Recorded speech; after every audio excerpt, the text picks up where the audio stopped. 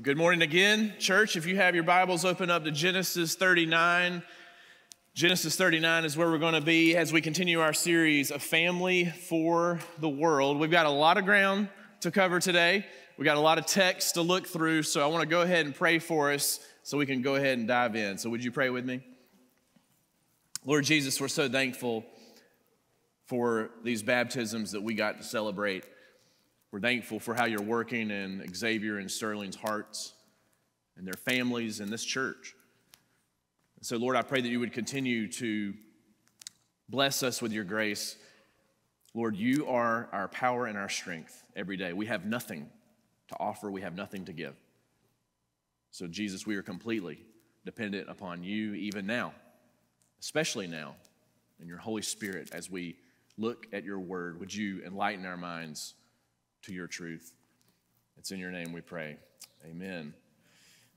well, as I said, we've been uh, walking through this series, A Family for the World. So we've been looking at Genesis chapter 12, and we're going to go all the way to the end.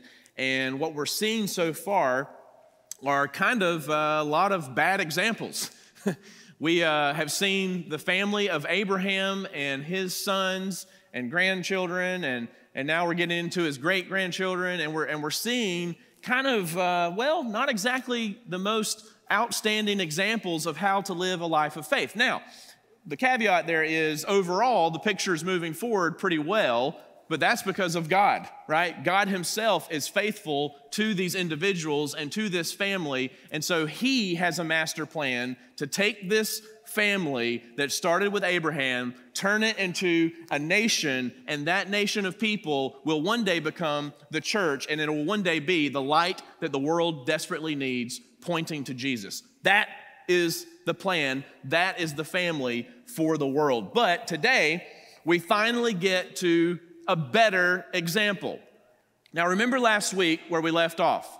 We left off with Joseph, a 17 year old kid who was sold into slavery by his own brothers, right? They sold him into slavery with this caravan on its way to Egypt. And so when we, when we finished looking at the story last week, we see Joseph is on his way to Egypt. But as we're going to see today, Joseph is a refreshing example because now in Egypt, as an adult, he's been through so much pain, he's been through so much testing, Yet his life is defined by integrity and godly character.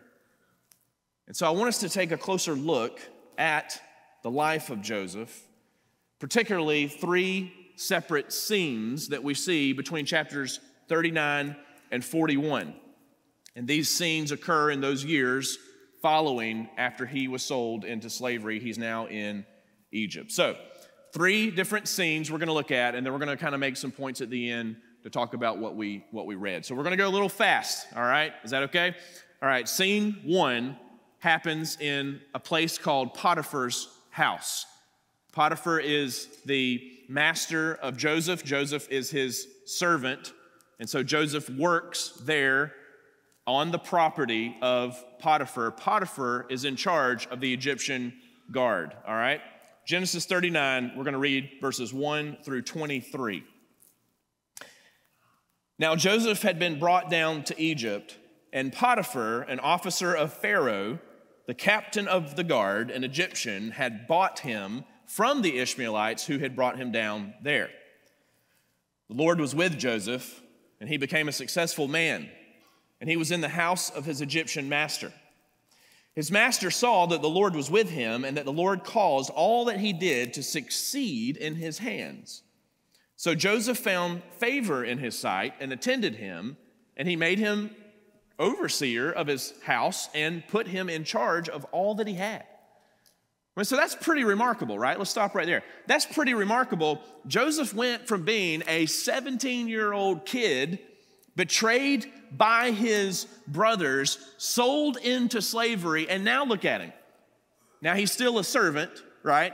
But he's gaining the trust of his master. He's given authority over the house of Potiphar, who is captain of the entire Egyptian guard. Now, let's skip down uh, to the second part of verse 6. Now, Joseph was handsome in form and appearance. And after a time, his master's wife cast her eyes on Joseph and said, Lie with me. But he refused and said to his master's wife, Behold, because of me, my master has no concern about anything in the house, and he has put everything that he has in my charge. He is not greater in this house than I am, nor has he kept back anything from me except you, because you are his wife. How then can I do this great wickedness and sin against God? And as she spoke to Joseph day after day, he would not listen to her, to lie beside her, or to be with her. But one day, when he went into the house to do his work and none of the men of the house was there in the house, she caught him by his garment, saying, Lie with me. But he left his garment in her hand and fled and got out of the house. And as soon as she saw that he had left his garment in her hand and had fled out of the house, she called to the men of her household and said to them, See, he has brought among us a Hebrew to laugh at us. He came in to me to lie with me, and I cried out with a loud voice. And as soon as he heard that I lifted up my voice and cried out, he left his garment beside me and fled and got out of the house. Then she laid up his garment by her until his master came home, and she told him the same story, saying, The Hebrew servant whom you have brought among us came in to me to laugh at me. But as soon as I lifted up my voice and cried, he left his garment beside me and fled out of the house. As soon as his master heard the words that his wife spoke to him, This is the way your servant treated me, his anger was kindled. And Joseph's master took him and put him into the prison, the place where the king's prisoners were confined, and he was there in prison.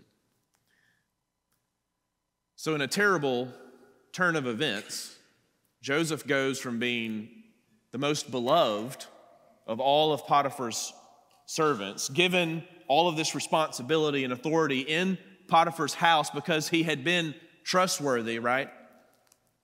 But what's happening here? This is a false accusation. We read what actually happened, but Potiphar's wife is saying that something different happened. So Joseph is falsely accused of trying to commit adultery. And Potiphar, the husband, he believes his wife, and so he throws Joseph into prison. Verse 21. But the Lord was with Joseph and showed him steadfast love and gave him favor in the sight of the keeper of the prison. And the keeper of the prison put Joseph in charge of all the prisoners who were in the prison. Whatever was done there, he was the one who did it. The keeper of the prison paid no attention to anything that was in Joseph's charge because the Lord was with him. And whatever he did, the Lord made it succeed. How about that? I mean, Joseph is wrongly accused, he's falsely condemned, he's thrown into prison, and yet, even there, people recognize his leadership. But what do we see success attributed to here? The author is very clear the Lord is with Joseph. The Lord is causing this success and blessing him because of his obedience. Joseph is obviously a great leader. People trust him, people see his integrity, but the Lord is with him. That's scene one. Scene two, the prison. Now, for sake of time, we're going to skip over chapter 40, where Joseph is in prison. I'll give you a quick summary. He's in prison in chapter 40, so we're going to go to 41. But it turns out, while he's in prison, the guy who once was a kid a 17 year old kid having these big dreams. Remember, remember that last week? And sharing those dreams with his brothers. And that's what made them angry because in the dreams, his brothers were bowing down to him. Turns out, Joseph is not only a dreamer, he is also really good at interpreting other people's dreams. So, he interprets the dreams of two of his fellow prisoners, one of which is the former cupbearer to Pharaoh himself. And so that cupbearer to Pharaoh was in prison for doing something wrong. We're not exactly told. but he ends up being released from prison and is reinstated to his job. He gets his job back, all right? So now, with that in mind, chapter 41, here we go, scene two. After two whole years, Pharaoh dreamed that he was standing by the Nile. Now, two years. Okay, Joseph, let's just let that saturate in our minds. Joseph has been falsely imprisoned for two whole years. His life seems to be at the lowest low. Two whole years, Pharaoh dreamed that he was standing by the Nile, and behold, there came up out of the Nile seven cows, attractive and plump. That's how you want your cows, right? And they fed in the reed grass. And behold, seven other cows, ugly and thin, came up out of the Nile after them and stood by the other cows on the bank of the Nile. And the ugly, thin cows ate up the seven attractive, plump cows. And Pharaoh awoke. That's quite the dream, right? I think I had one sort of like this one time, except the cows were holding uh, signs that said, Eat more chicken, right? I'm just kidding. Verse 5 And he fell asleep and dreamed a second time, and behold, seven ears of grain, plump and good, were growing on one stalk, and behold, after them sprouted seven ears, thin and blighted by the east wind. And the thin ears swallowed up the seven plump, full ears. And Pharaoh awoke, and behold, it was a dream. So in the morning, his spirit was troubled, and he sent and called for all the magicians of Egypt and all its wise men. Pharaoh told them his dreams, but there was none who could interpret them to Pharaoh. These are some weird dreams. Skinny cows eating fat cows, bad corn eating good corn, right? What's going on? Well, the Pharaoh, the Pharaoh's cupbearer, remember? He was in jail, in prison that I just told you about with Joseph when Joseph interpreted his dream. So now he's working for Pharaoh again, and he's like, Ooh, I know a guy right? He's like, I remember this guy. He interpreted my dream. I bet he can interpret your dream. So look at this. Look down at verse 14. Then Pharaoh sent and called Joseph, and they quickly brought him out of the pit. And when he had shaved himself and changed his clothes, he came in before Pharaoh. And Pharaoh said to Joseph, I have had a dream, and there is no one who can interpret it. I have heard it said of you that when you hear a dream, you can interpret it. Joseph answered Pharaoh, It is not in me. God will give Pharaoh a favorable answer. So Pharaoh tells Joseph his dreams, all right? Now skip down to verse 25. Then Joseph said to Pharaoh, The dreams of Pharaoh are one. God has revealed to Pharaoh what he is about to do. The seven good cows are seven years and the seven good ears are seven years. The dreams are one, Joseph tells Pharaoh. Now look down to verse 29. Joseph interprets the dream. Here he goes. There will come seven years of great plenty throughout all the land of Egypt. But after them, there will arise seven years of famine, and all the plenty will be forgotten in the land of Egypt. So now you see why those ugly, skinny cows are swallowing up the plump, attractive cows, right? the famine is going to be so bad that the seven years of great harvest will almost be forgotten. He says the famine will consume the land, and the plenty will be unknown in the land by reason of the famine that will follow, for it will be very severe. Verse 32 And the doubling of Pharaoh's dream means that the thing is fixed by God, and God will shortly bring it about. Now, therefore, let Pharaoh select a discerning and wise man and set him over the land of Egypt let Pharaoh proceed to appoint overseers of the land and take one fifth of the produce of the land of Egypt during the seven plentiful years, and let them gather all the food of these good years that are coming and storing up grain and under the authority of Pharaoh for food in the cities, and let them keep it. That food shall be a reserve for the land against the seven years of famine that are to occur in the land of Egypt, so that in the land, or so that the land may not perish through the famine. So, not only does Joseph interpret Pharaoh's dream, that there's these seven years of, of good harvest and plenty, followed by seven years of famine, he also, you see that? He also gives him a wonderful plan to survive the next 14 years. That's scene two. Third and final, scene three the palace.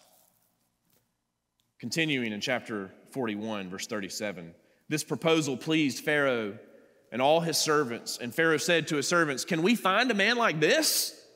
In whom is the Spirit of God? Then Pharaoh said to Joseph, Since God has shown you all this, there is none so discerning and wise as you are. You shall be over my house, and all my people shall order themselves as you command. Only as regards the throne will I be greater than you. That's a big promotion. Joseph is pulled out of prison. The next thing he knows, he is second in command of the whole Egyptian empire, only below Pharaoh himself. Verse 41 And Pharaoh said to Joseph, See, I have set you over all the land of Egypt. Then Pharaoh took his signet ring from his hand and put it on Joseph's hand and clothed him in garments of fine linen and put a gold chain about his neck. And he made him ride in his second chariot. And they called out before him, Bow the knee. Thus he set him over all the land of Egypt. That's scene three. So Joseph impresses Pharaoh so much that now he's second in charge. And when people, when, when Joseph passes by in his chariot, people bow on their knee. Who would have seen that coming? 17 year old kid making his older brothers mad, telling them his dreams, gets betrayed by them, thrown into a pit, left for dead, ends up being sold into slavery. And look at him now. And if that's a rags to riches story, if I've ever heard of one. But I want us to look closely today, not, not so much at the details of the circumstances, as much as the details of Joseph's heart.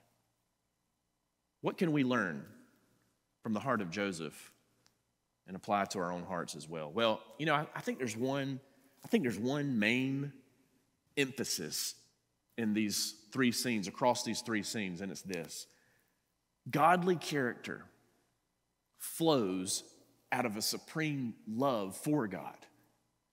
So let me state that maybe even another way integrity integrity, honesty, obedience to the Lord, godly character, that only flows out of a true, supreme love, not for anything else in this world, but for God alone. How was Joseph able to live a life in the midst of these terrible circumstances he had to go through? I mean, there were a few years of his life where I think any one of us would have been tempted to give up completely. We had already been betrayed by our own family, forsaken by them, thrown into a pit, left for dead, sold by them as if they care nothing about us. And then, once we finally see some progress in our lives and kind of working our way up the ladder, we get falsely accused of something we didn't do. And then we're, and then we're thrown in prison for two years at least I mean, which one of us could handle that emotionally and psychologically? Who could handle that in here? But Joseph persevered with consistent obedience. How did he do that? I think the key to understanding how is found in Genesis 39 at the end of verse 9. When he was being tempted by Potiphar's wife, look at what he said. Did you notice this? Did you catch this? He said, How then can I do this great wickedness and sin against God? You see, this is very telling because Joseph's greatest concern with his temptation was not upsetting Potiphar. Oh, I can't do this because I might lose my job. That wasn't his number one motivation for not doing this. It wasn't because, well, I don't want to complicate my life with drama that wasn't his motivation either. Joseph's greatest concern for fleeing that temptation was based on his greatest love. His love was for God, not his position that he had attained in life or his reputation that he attained in life. Those things were good and fine, but his greatest love was not himself and attaining position and power. His greatest love was God himself. And he says, How could I do this against God? How could I do this against the one I love the most? Joseph didn't want to break the heart of God. He didn't want to sin against him because the Lord was his supreme love. You know, in Psalm chapter 51, in Psalm 51, it's a very popular psalm, King David wrote, after he failed where Joseph succeeded. So, if you're familiar with the Old Testament, with the Bible, King David was king of Israel, and he did fall into temptation and did commit adultery. But he repented, he confessed his sin, and he was forgiven. He realized what he had done. First and foremost, in Psalm 51, he says that it was an offense against God himself. David cried out to God and said this He said, Against you and you only have I sinned. And that's not to say that other people weren't hurt. Absolutely, other people were hurt, devastatingly. And it caused great, terrible turmoil in David's life. It ruined his life to many, in many ways and the life of others. He took someone's life. But ultimately, David knew against you and you only have I sinned. First and foremost, this is an offense against my God. You see, here's the deal for us. Here's what we do. You and I, we, we obey our greatest love. Whatever it is, we are obedient to a point, to whatever love truly captivates our hearts. So, whether that is money or sex or power, or maybe it's just your image, you know, like the image who you want others to perceive you to be. Whatever it is, we are obedient to that idol in our hearts and we will submit ourselves to it. We will make sacrifices for it. We will obey it. We have to obey something. We're not God. We are creator. We are creation, right? He is the creator. We are the created beings. We are designed to obey something. So everyone in here is obeying something. It's just either God or whatever else is ruling your heart. That dictates our life, right? And so what we have to see is if God Himself is our supreme love, then though we will be far from perfect, absolutely, we will still struggle with sin, yes, but we will want to truly please Him. And the thought of sinning against Him and breaking His heart, that should disgust us, just as it did Joseph. So I want to ask before we go any further are you disgusted at the thought of sinning against God? And not just concerned about the consequences that may come after. If our attitude towards sin is lax, I think that reveals where our heart really is. God is not our supreme love. But if He truly is, then we'll take sin seriously. We won't try to sweep it under a rug, and we'll want, we'll want to live for Him. And that'll be evident that we have that desire, though we will not always succeed and be great at it. We will have the desire, just like Joseph did. So godly character flows out of a supreme love for God. Now that is that, that's the main truth connecting these three scenes that we looked at. But I want us to look even closer at, at three other truths that are demonstrated by this. So, so we see this godly character flowing out of Joseph's heart. His love is dictating his behavior, and we see that demonstrated in three ways. Number one, we see him fleeing temptation. So, Potiphar's wife, she was persistent. She persistently presented herself to Joseph. She wanted to have an affair with him, right? But, but what did Joseph do when she made her advance? He literally ran out of the house, right? He literally fled and ran away. It says he fled in verse 12 of Genesis 39. He fled and got out of the house. You see, why, again, comes back to that main truth. It's his love for God was greater than any, any desire for lust. You see, Joseph knew, he knew the destructive danger of this particular kind of sin. And as I just mentioned, we saw in King David's life the danger and the devastation that comes. But more than anything, Joseph wanted to please God in this moment. And so we can't, we, we can't preach through books of the Bible and, and passages of scripture and details like this and not talk about it.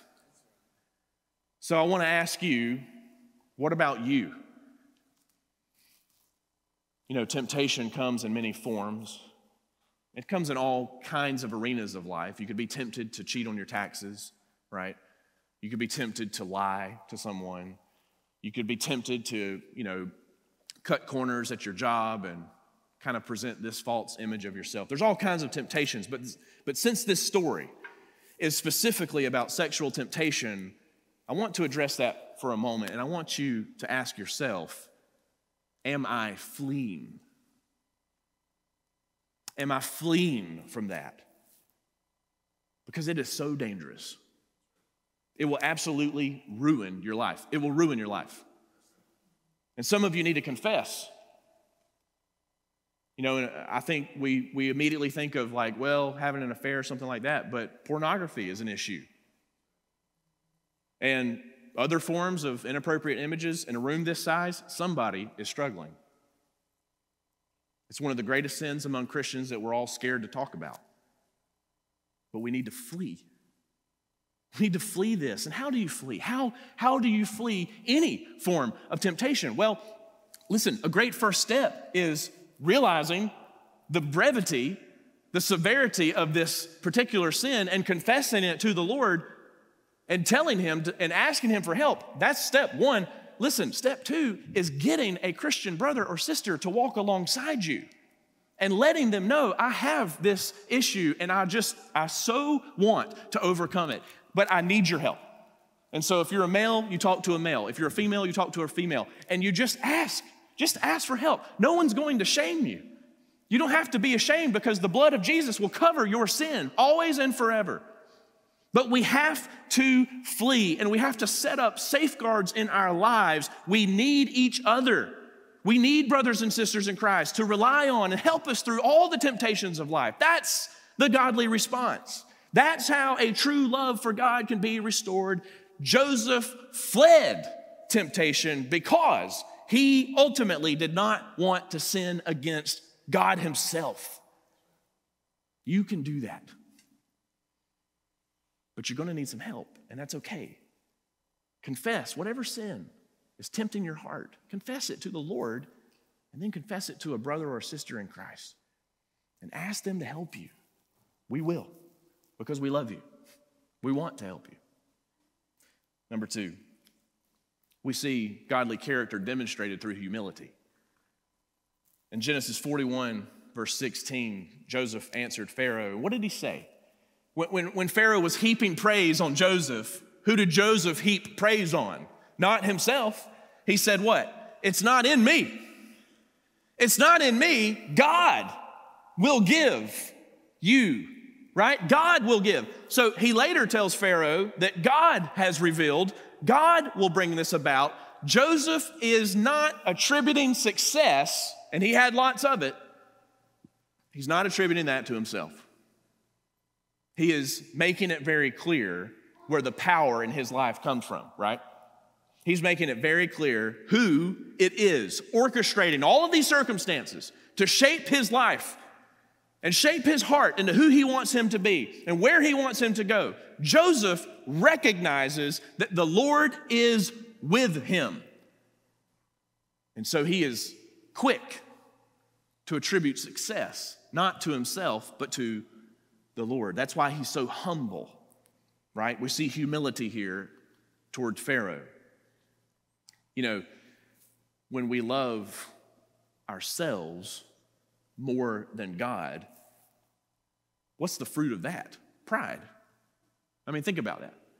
If you love yourself or, or one of those idols I mentioned earlier, if something else is truly your supreme love and, and you're, you're obeying that, right? You want that to be elevated in your life and not a relationship with the Lord Himself, well, then pride takes over. Pride becomes what truly defines our, our attitude, our words, right? We do this. We do this because we have to continually promote ourselves and try to make ourselves look better to others than we actually know we are inside our hearts. We know we have issues. We know that we're sad and discouraged, but we don't want other people to think that or see a glimpse of that. And so we will do all kinds of things to promote ourselves through our pride because ultimately it all goes back to what? Our supreme love is not God Himself, it's ourselves. And so we have to promote ourselves. We do this, you know? Like I think a practical example, you know, when you're talking to somebody and at some point in the conversation, you know, we all do this, right? We try to find a way to like compliment ourselves, you know, or let them know about something great that we've done. Oh, yeah, well, you know, high school, that was a long time ago. I was a starting quarterback, though. You know, like we, we, we do that. We, we just throw little compliments to ourselves in conversation. I was not a starting quarterback, I was using that as an illustration, just to be clear. Um, but we do this because if our supreme love is ourselves, it really does become evident in just the way we talk to other people, the way we kind of carry ourselves, our disposition. But when God is our greatest love, the goal of our lives is consciously, consciously to point other people to Him and not us. Do you see Joseph doing that? He tells Pharaoh, Pharaoh's like, Man, Joseph, you're awesome. I've never seen anybody that can do what you can do. I'm gonna put you in charge of everything. I mean, Joseph easily, he easily could have been like, Oh yeah, you know, give it, give me the power. I'll absolutely. Yeah, well, I mean, I tried, you know, I tried hard, right? No, Joseph is like, it's not me. It's not in me, it is God Himself, Pharaoh. And he's talking, by the way, to a pagan ruler who did not believe in the God of the Bible. So Joseph is a good witness to him as well. That's what we see here, though. It's humility. It's humility characterizing his life through a supreme love for God. He doesn't have to promote himself, he has everything he could ever want in his relationship with God. Number three, we see Joseph demonstrating this character by using his knowledge and resources to help others, right? Think about that. Joseph had great wisdom. he had a gift from God to interpret dreams. He had great organizational and leadership skills. I mean, the guy came up with a 14 year plan, like on the spot, right? And it was wonderful. And it worked. And it saved a whole nation and others from starvation. But he didn't have to do that. You know? Like he could have been bitter. I would have been bitter if I was wrongly imprisoned for two years. I would have been angry at all the Egyptians. Joseph isn't an Egyptian, he owes them nothing. He's a Hebrew sold into slavery, falsely imprisoned. He didn't have to share this knowledge. He could have kept that knowledge to himself about the famine. He could have told Pharaoh that his dream meant something totally wrong, totally different. He could have used that bitterness and resentment to get even with the Egyptian nation. He could have withheld his knowledge. He could have hoarded all the extra food. Even if he had devised this plan, he could have kept all the food and not allowed people from around the world, which that's what happened, by the way. People from neighboring countries were coming to Egypt because they had so much food stored up. And Joseph blessed them with it and allowed them to purchase it. But he didn't have to do that. But what? Because God was his supreme love. Not his ego, not his reputation, not his desire to get back at somebody or get ahead of anyone. He used his knowledge that God gave him, he used his resources that God gave him to do what? To bless others, to serve others. Generosity defined him because his supreme love, God himself, is the ruler over all of creation and has all the riches of heaven. And if we know we're going to inherit that, boy, we can open our hands a little easier, can't we? If we know that in eternity we're going to inherit the kingdom of heaven and all the riches of glory alongside Jesus Christ, worshiping Him forever, loving one another forever in a perfect place. Can't we be a little more open then in this life with our knowledge, with our resources to help others? Because we're not in the business of hoarding anything in this life for ourselves. Because you're not going to take any of that with you when you die. If we were truly living for God and His kingdom, stinginess would not define us. If we had eternity on our minds instead of just the comforts of today and what's in front of us and building our own little kingdom, if we really believed in our hearts the kingdom that we are living for, an eternal kingdom, we would be so much more generous. Generous with our time, Gener- generous with our knowledge, like Joseph was, generous with our money, generous with our willingness, our just our willingness to take the time to help, to help those in need, to serve someone else. You know, Paul talked about this in Philippians 2 verses 3 and 4. He says, Do nothing from selfish ambition or conceit, but in humility, count others more significant than yourselves. Let each of you look not only to his own interests, but also to the interest of others. You see, only when we love God more than our own ambitions are we really free. Are we free then to love others with this kind of generosity. You know, I want to be very clear Joseph was not a perfect man. Joseph had his flaws. Joseph was a sinful man who does not deserve God's grace, just like any of us do not deserve God's grace. But we, we see here something, don't we? Don't we see actual fruit here, though, in his life? And that godly character that we see by fleeing temptation, humble attitude, generosity, serving others, what is all that pointing to? It's pointing to the fact that, you know what? Joseph does love the Lord. He loves God with all his heart, mind, and soul more than anything else. And that is why, that is why his life was defined by godliness and integrity. You see, this story of Joseph is great it's pretty good. He's a good example. But I think if we look even closer, we see that the life of Joseph is actually pointing us to someone even greater. You see, like Joseph, many years later, Jesus Christ would be betrayed by people who loved him, and he would be a servant to others. Like Joseph, Jesus would be tempted and he would overcome and be victorious. Like Joseph, Jesus was condemned unjustly for something he didn't do. And like Joseph, Jesus' aim was to please God the Father and was obedient and faithful through every difficult circumstance. And you remember? Remember the Egyptians? What did we read earlier?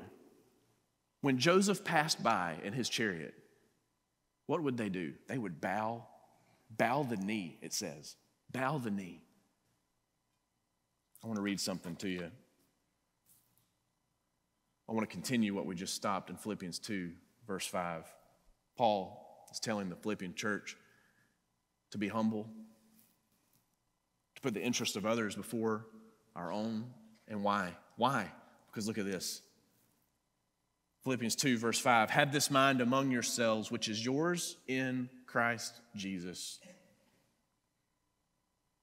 who, though he was in the form of God, did not count equality with God a thing to be grasped, but emptied himself by taking the form of a servant, being born in the likeness of men. And being found in human form, he humbled himself by becoming obedient to the point of death, even death on a cross. Therefore, God has highly exalted him and bestowed on him the name that is above every name, so that at the name of Jesus, every knee should bow in heaven and on earth and under the earth, and every tongue confess that Jesus Christ is Lord to the glory of God the Father. That is the gospel. That is the good news.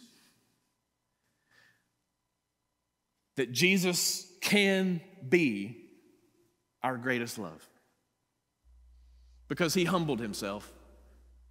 Hey, the example of Joseph is great, but the example of Jesus is perfect. That he humbled himself and took the form of a lowly servant and endured all the pain and the ridicule and the mistreatment and the injustice that you could ever imagine. And he did that because he loves you. He did that because he wants you. And some of you don't believe that. Some of you don't believe that God really wants you. Some of you don't believe that He wants you to live with Him forever because you say, Well, Pastor, I have done something that is so bad and I'm ashamed of it, and it's hard for me to even walk in a church. And I don't know that the Lord can really forgive me.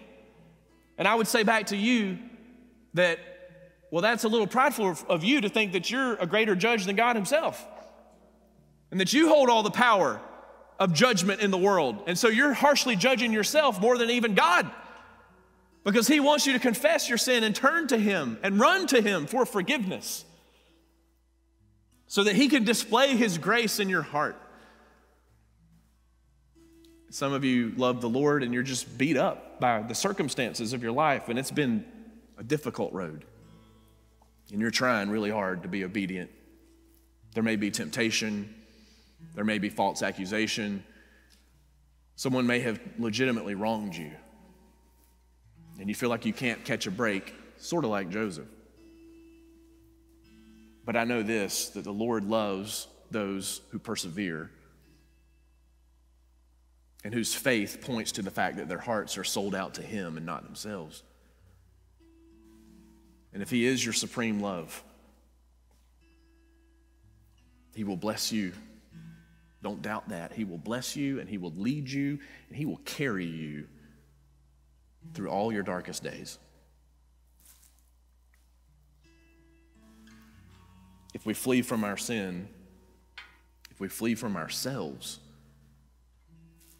and in humility trust Christ, then a beautiful thing happens. His record of righteousness replaces our record of sin. His righteousness is given to us, it's accredited to our account. If you need to talk to someone today about what that looks like, and just talk to someone about where you, where you are currently, where your heart is, then please do not hesitate to reach out to me, one of our staff members. We want, we want to talk to you about that, and we would love to, to sit down and, and have that conversation. Maybe today you were moved by the baptisms you saw and the testimonies you heard, and maybe that's you. Maybe you need to be baptized. Maybe you've never followed or uh, followed through with that. Maybe it's time for you to make a commitment and really join this family of God. Maybe you already are a member here of this family here at Kernan, and the truth is, you've been hoarding your own knowledge. Maybe you've been hoarding your resources, and it's time to go all in. It's time to jump in and say, I want to live for the kingdom and not myself. Whatever the case is, I just want you to know that the Lord is with you. He was with Joseph, he had a plan. Joseph was obedient through the darkest of days. And the same can be true for us if he's truly our supreme love. We can be obedient because of that power, not us, but His powerful love in us that transforms us and displays His goodness to this world. Can we live like that? We have to ask His help. We have to ask the Holy Spirit to do that in us. Can we do that now? Would you pray with me?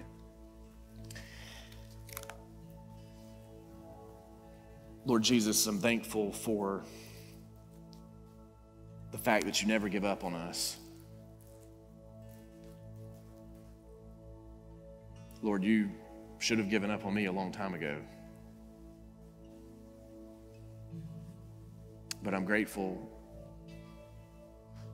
that your loving hand is with us, as it was with Joseph. And Lord, nobody in here is trying to pretend like life is easy or that the Christian life is easy. It's extremely difficult to go against the grain, to go against this world, the temptations we face every day, the pressure to be somebody that we're not. But Lord, would you be our supreme love?